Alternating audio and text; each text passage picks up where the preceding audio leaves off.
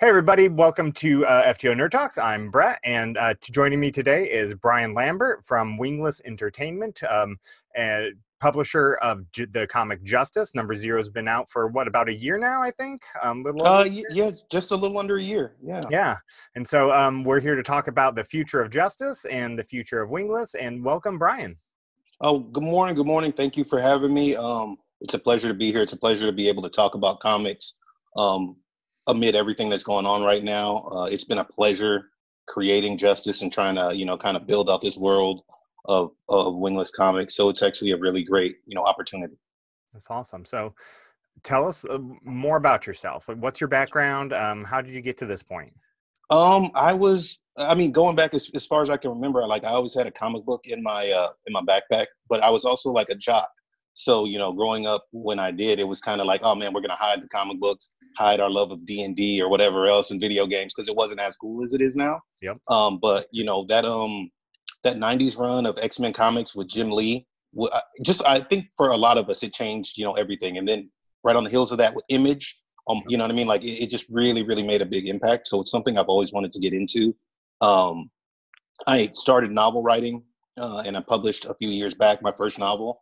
Um, and that just kind of segued into being able to write comics. You know, it gave me that kind of the platform, kind of the understanding, um, and and so I'm I'm really fortunate in that. Um, obviously, in addition to schooling and really learning the craft and, and really trying to to be as much of a fan creator as I can.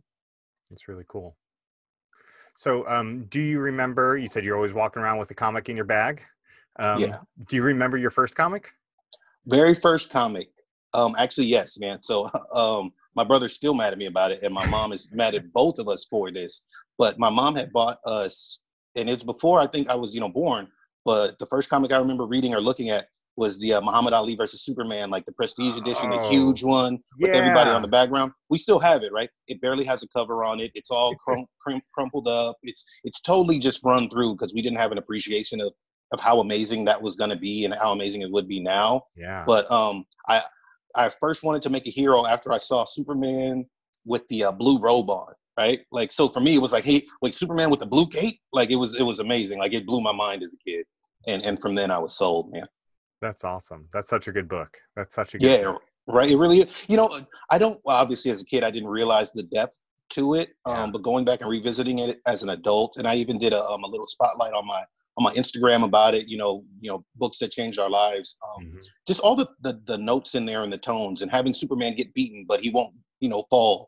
And Ali is the greatest, and Superman's. You know, it's just um, there are just so many levels to it. You know. Yeah. Yeah, for sure.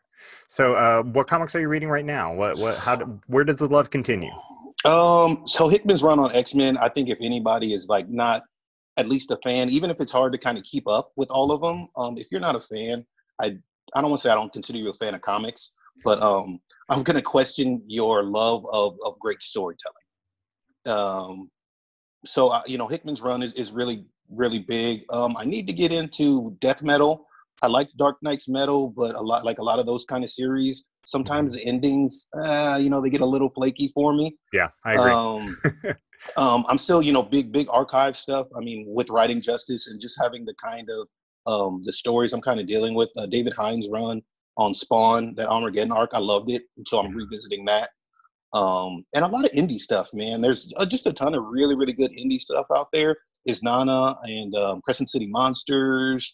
Um, um, there's some stuff from Burning Spear Comics. Uh, they're, they're, just honestly, there are a ton, and I would do. I would. It would be a disservice if I tried to name them all because there are so many, and it's I'm gonna forget somebody, and I don't want to. Uh, Constant Hustle's doing some great stuff. Concept Moon Studios is doing some great stuff. You know, um, there's just a ton out there. Yeah. You, you you just basically named my reading list right now. So yeah, you're right. okay, awesome. Yeah, yeah. no, it's it, there's some really really great books. Um, for me, uh, you know, I, I just finished maybe a couple weeks ago Crescent City Monsters number three, yep. and I love the look of it. I love that noir feeling. I love the fact that it's black and white. Um, there are just a bunch of different ways to, to tell stories now. Um, and I think the availability, obviously, the internet and all these other things have made it possible. And so I really admire when people are kind of stepping out like that. And I see that a lot in the indie community. I use Crescent City Monsters as a, you know, a jumping point, but I feel like a lot of people are doing that. And it's, and it's really great. It's really great to see. Yeah, it is. So, um, let's talk about justice. Let's break it down. Let's. Um, where did you get the idea for justice? Give us just a little teaser. Um, we want people to go download your book and buy number one when it comes out. But um, what's happened so far, and what's what's next? Okay, so um, Justice Zero, which is actually free on uh, winglessent.com um, for download. It, it, it's it's it's um it's the start of of what will be something epic, uh, and I mean that in terms of we you know the, the battles for good and evil are always there, right? So let, uh, my take is let's let's do the ultimate one. Let's see how these forces really play out. Let's see how my opinion of how these forces play out. Let's see you know the struggle. Um, I actually justice came from um, I have a like a love hate with horror movies, right? And horror movies, you get something like you have something like Exorcist, right? This great, visceral, awesome, amazing movie, but the hero is always some guy that's like, God, please help! If you could just, I don't know, like, and so you got somebody like flying across the walls and like super strength, and they're punching them. They got wings, like all these crazy things, right? Um, you know, brings to mind like mind like the Golden Child, right? I love Eddie Murphy, right? But he's got like this little dagger, and this dude is like a twelve foot bat wing demon, right? And I'm like, well, yep. dang, if if one side can have these crazy powers, like why can't the other? Like if if if we're talking about wars and you know the Trojan War, War of the Roses, like all these big wars that lasted for years and years and years, right? It's all this carnage. There are good and bad on both sides. There are these heroes on both sides, and it always depends on your perception of things. Um, why not take that back to the like original war and the ripples that still go through there? To me, that's always been a really, really engaging idea a really, really engaging idea of being in the most perfect place ever and still not being satisfied. Um, Dante's Inferno is obviously a very, very big um, part of of of my mythos and, and, and how it came to be. Dogma, uh, just you know, a few other things that I think are just pretty awesome and explore. It, it, gives me a chance, if no one else, to explore some of the things that I wonder about religion and about science and about human nature and, and, and about you know god's nature in relation to how humans can understand it if you believe that. And if you don't it's there for that too. You know um yeah. i don't i also don't just um because it's based in an abrahamic tradition that doesn't mean that's all that it covers. I, I love the marvel theory of where you have norse gods and you have like all the high fathers get together and just all these these different things where where you can see how cultures are so closely related yet so far apart in beautiful ways yeah, yeah, definitely. I'm reading issue zero. Um, it, I, I totally agree. Everything you said came through in issue zero, um, where you don't have to be religious to get what's going on. You don't have to know everything about an Abrahamic religion to know what's going on. And this, the, I can't wait to see where it goes, man. I can't wait to see where it goes. Um, so speaking of where it's going, you're getting ready for a Kickstarter campaign. Um, yes. How can people support that? Okay, so uh, our Kickstarter campaign is uh, scheduled for June 12th. It should uh, open on June 12th, 9 a.m. West Coast time. So, you know, 12 East Coast time. Um, there will be multiple tiers, multiple chances for for just your casual reader to, to pick up the PDF. Uh, for your crazy wingless fan, which I love you guys. If there if there's anybody that's crazy wingless fan, I love you guys. Um, um, to get some collector editions, get some signed prints. Um, I have a really amazing art team, including um, Gladson Ribeiro, uh, Fabio Samao, um, Nestor Rajula.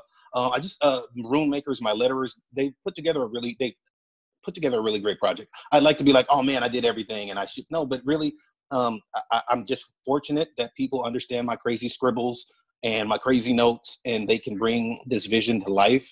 Um, there are going to be as we expand the what's what's what my writing partner and my head of creative development for Wingless uh, Comics calls the Wingverse. Um, as we expand, you're going to get to see some more characters. Um, a fan favorite, Caliburn, is going to have a backup feature. Cool. Uh, Malachi Bailey's own Her is also going to have a backup feature. We're really expanding the universe to, to try and show and highlight the, the, the diversity of character um, the diversity of ideas and storytelling. I really we view it as like a palette, right? Like a palette. You can have blue, but you've got all these different shades of blue. Mm-hmm. Um, and that's what we're trying to do with the Wingverse and, and just bring a, a, lot of different things to the table. So, like I said, on um, June 12th, it's going to be across all social uh, media, uh, obviously. We're going to have links everywhere. I'm going to be screaming from rooftops. Um, um, we, we've got a lot of really, really cool surprises in store for all the fans and all the people who just just stop in and check it out. Yeah, if you've been following um, Wingless Entertainment on Instagram, at least, um, you got some really cool Kickstarter rewards. I saw a really cool statue. Yeah, uh, you know, I'm actually I I think I'm more geeked than anybody for the statue. I'm not gonna lie. Um, that is uh, Jalilson Santos. He's a, an extremely, extremely talented sculptor. He put his heart and soul into it. Um, it it's amazing. Um, it's actually cool. getting shipped to me right now. The the the the first one um, that the pictures were taken of is getting shipped to me now. I can't wait to put it on my desk. I'm like a little kid checking for the mail every day. um, it's rendered really well. We're actually, um, well, you know what? I'll, I'll, give you the exclusive. We're yeah. actually getting one done of Caliburn as well as we speak. Uh, awesome. Will, uh, the previews will debut on the um, on the Kickstarter. You'll be able to see the process as it kind of develops. Um, that's it's going to be ready to ship by the end of the campaign as well. That's so um, awesome. Yeah, yeah. So we're adding a few things. Like I said, it's it's some little Easter eggs and a couple other things. They're going to be some uh, really really pleasant pleasant surprises for everyone. That's really cool. I'm I'm excited for for Justice to continue, and I'm also been so excited to see um the previews of her kind of coming out little by little. I can't yeah. wait to. I'm gonna have to talk to Malachi at some point to get him on here because mm. I'm I'm excited about that. Yeah, yeah. No, you know Malachi is man, his his energy, we're we're, we're kind of yin and yang sometimes. And, and sometimes I'm just really like, yeah, we need to do the work. And Malachi's, oh my God, Brian, we're doing, you know, his energy is, is so infectious and it's so great. And he's so passionate about the story. He's so passionate about his characters. Um, his love of comic books, I think, even drowns me sometimes. He's like, yeah, well, Brian, you remember in X Men, Uncanny X Men 74? They said, I'm like, dude, no, I don't. I, I really don't. I know what you're talking about, but no, I don't know the exact line. Um, he's just, um, he's so steeped in that lore and he loves it so much and he brings that to, to his projects. Um, the preview that you guys are going to see it's it's a it's a her issue zero as well. So it's a mini issue. You guys are going to love it. I can promise you that. That's awesome. That's awesome. So we got we got justice we got Caliburn we got her. Anything else coming down the road for wingless um yes uh, you, you know we've got again like I, I keep saying there's some there's some really really nice surprises. There's one i will not key you guys in on yet. I will let you know. Um, I've posted some cryptic stuff, but uh, Nightfall is coming, so be prepared. Um, that should be October. It is going to be something like you have never seen before. Um, Nightfall is coming. Uh, we also have a couple more characters. Um, again, um, we are definitely big on diversity and not people always, you know, I don't want to say people always say, people on the other side of arguments always say something like diversity for diversity's sake, right? Mm-hmm that is probably one of the most ridiculous phrases I've ever heard. What needs to happen is the diverse set of voices that we actually have in the world need to be given a platform. Um, since I have this little itty bitty small platform, um, I want to do that as much as I can.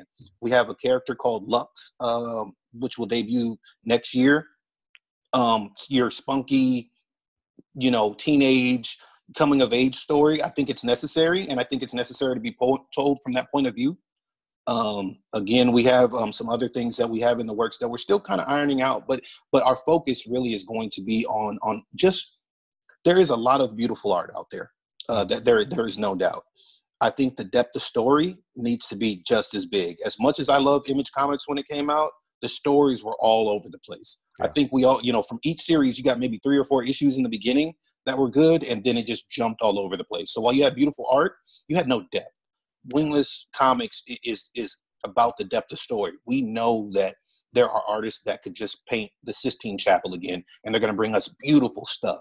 We want to honor their talent by telling great stories, and we want to honor our fans and supporters by telling stories that they can relate to and stories that resonate with them. Yeah, I agree. The the the art and the storytelling in indie comics right now, in my opinion, far surpasses what you find from some of the big studios and big uh, labels. Um, it's one hundred percent wonderful right now. Um, yeah, I think you and I have talked briefly through Instagram, maybe at some point, about just how um, I think. Correct me if I'm wrong. About telling telling the stories that we miss from our childhood. Yes, yeah and the stuff like stuff like milestone media and just mm-hmm. all those great comics from the 90s and um, if you miss that man you, you can find it in indie right now yeah yeah you know one of the things that i find uh, kind of interesting and telling is like um, when Geoff Johns big run um, and some of the stuff that he did not in like green lantern but like some of the stuff he did with like batman and superman Mm-hmm. He was bringing back some of those old 70s and, and, crazy ideas, which are like pretty fun, but they're like a little cartoony. Yeah. But there's such um, an over reliance on not doing that that it mm-hmm. doesn't make sense, right? Um, everybody can't be Wolverine. Everybody can't be some gruff, hard hero. Like we, everyone looks nostalgically back at Thundercats. I love Thundercats, right? But if you really go back and watch Thundercats, like it really doesn't make much sense. It's just kind of fun and it's the characters look amazing and it does some stuff and blah blah blah. But you need that sometimes. Sometimes you need that jumping point to, you know, you've got some great stuff, some cool stuff. And that's why when you do a, you know, even though it, it, it folded, when you do a Thundercats revival that brings in that depth of story, it's actually amazing. It, yeah. it, it, didn't go where it should have for other reasons. Mm-hmm. But but if you look back on that Thundercats revival, it was an amazing thing. Look at um Voltron. Look at She-Ra.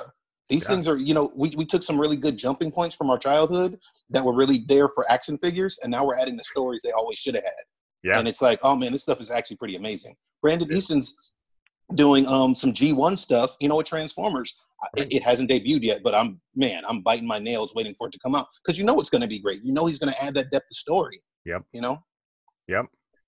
So speaking of diversity, speaking of indie comics, um, I would say that you're part of a resurgence in Black indie comics right now. Um, do you have any other indie titles from that genre you're following?